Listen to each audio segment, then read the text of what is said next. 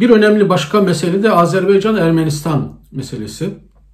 2-3 aydır yoğun bir savaş vardı. Ee, şunu hemen hatırlatalım. Ermeniler Azerilerin topraklarının %20'sini resmi, official Birleşmiş Milletler'in kabul ettiği toprakların %20'sini 30 yıldır, 27 yıldır işgal altında tutuyorlardı. Rusların da yardımıyla o dönemde Sovyetlerin dağılmasından sonra Ermeniler Azeri topraklarını işgal etti. Hatta katliamlar oldu. Pek çok Azeri, milyonlarca, bir milyonun üzerinde Azeri e, kaçkın, göçmen şekilde yaşıyordu. Son 10-15 yılda Azerbaycan silahlandı, güçlendi ve e, birkaç ay önce işte meşhur bilinen savaş başladı. Azeriler hızlı şekilde Karabağ'a doğru ilerliyorlar. Sürekli mevzi kazanıyorlardı. Dün itibariyle e, Rusya'nın bir uçağı, helikopteri düşürüldü. Ermenistan'da şunu bilelim. Ermenistan'da hala Rus askerleri ve Rus üsleri var. Ermenistan önemli oranda Rusya'nın büyük oranda kontrolünde P2 gibi. Azerbaycan son 10-15 yılda Azerbaycan'daki Rus üslerini ve Rus askerlerini geriye göndermişti ve önemli oranda daha bağımsız hareket edebilir hale gelmişti ama Ermenistan Rusya'nın bir P2'ydi. Dünkü olayla birlikte bir ateşkes anlaşması imzalandı. Ee, bu ateşkes neyi gösteriyor bu anlaşma? Ee, anlaşmanın maddelerine baktığımızda e, onları birazdan inceleyelim ama taraflara önce bakalım. Azeriler çok sevindirik oldular. Evet kendi topraklarına e, geri aldılar. Bu önemli güzel bir zafer kutlanması gereken bir şey.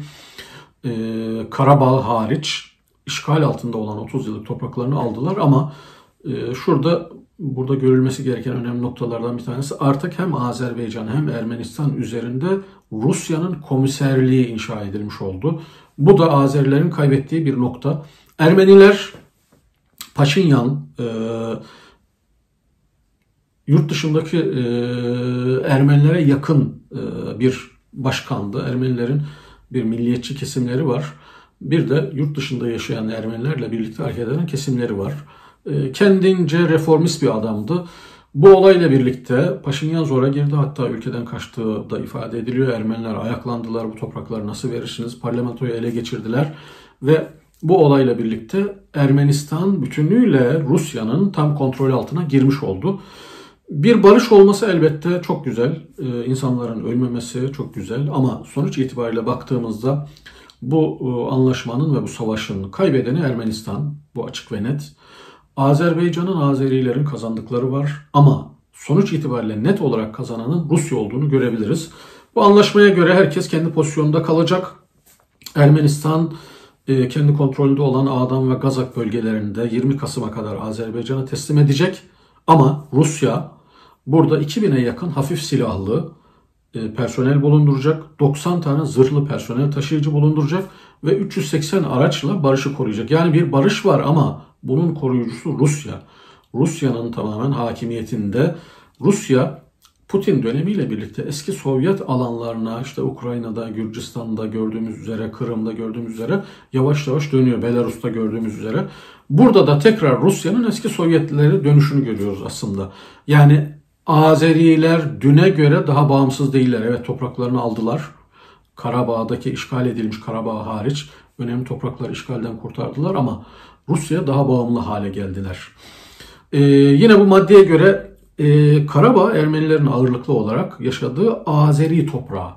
Erme, Azerbaycan topraklarının arasında ama Ermenistan'la bağı yok. Bu anlaşmaya göre Rusya'nın denetiminde ve kontrolünde, bu da ilginç, FSB'ye bağlı yani Rus istihbaratına bağlı sınır koruma birlikleri bu, bunu temin edecek. Denetim ve kontrol Rusların elinde olacak. Karabağ'dan Ermenistan'a koridor açılacak ve e, Karabağ Azeri Ermenileri Ermenistan'la ilişkilerini geliştirebilecek. Öte yandan e, Nahçıvan'da Azerbaycan'ın Türkiye sınırında Azerbaycan'la kopuk bir parçasıydı. Bununla Azerbaycan'ın e, arasında koridorlar, yeni yollar açılacak. Yine bunların da güvenliğini e, Rusya'nın yani o iletişim, bu tür problemlerin hamisi, komiseri Rusya olacak. E, Azerbaycan buradaki malların, personelin yani o aradaki insanların, imkanların naklini sağlamasına, yolların açık tutulmasına garanti ediyor. Dolayısıyla bir ticaretin, insanların geliş geçişinin artacağı bir normalleşmenin olacağı e, görüşüyoruz, görülüyor. İşte savaş mahkumları, cenazeler değiştirilecek. Ulaşım hatları açık olacak. Eğer bu barış korunabilirse Rusya'nın e, her iki ülke üzerinde daha güçlü bir şekilde kurduğu hegemonya hariç Azerilerin e, önemli haklar kazandığını söyleyebiliriz. Umarız bundan sonra kalıcı bir barış elde edilir. Ne Azeriler ne Ermeniler ölmez. Ticaret gelişir, eğitim gelişir, kültür gelişir ve ülke normalleşir, düşmanlıklar unutulur. Ama Ermenistan'daki olaylara baktığımızda Ermeni halkının bunu çok da kabul edemediğini görüyoruz. Nitekim Paşinyan'ın ifadelerinde de ben bu kararı çok acı, zehir gibi bir karar olarak kabul ediyor. Ordunun talepleri karşısında yaptım. Yani ordu demek ki çok zor, zor durumdaydı Azerbaycan ilerlemesi karşısında.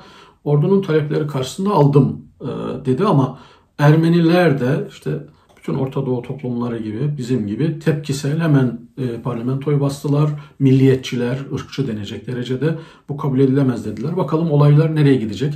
Paşinyan'ın istifası, ülkeden kaçması, yönetimin değişmesine kadar e, gidebileceği kanaatindeyim.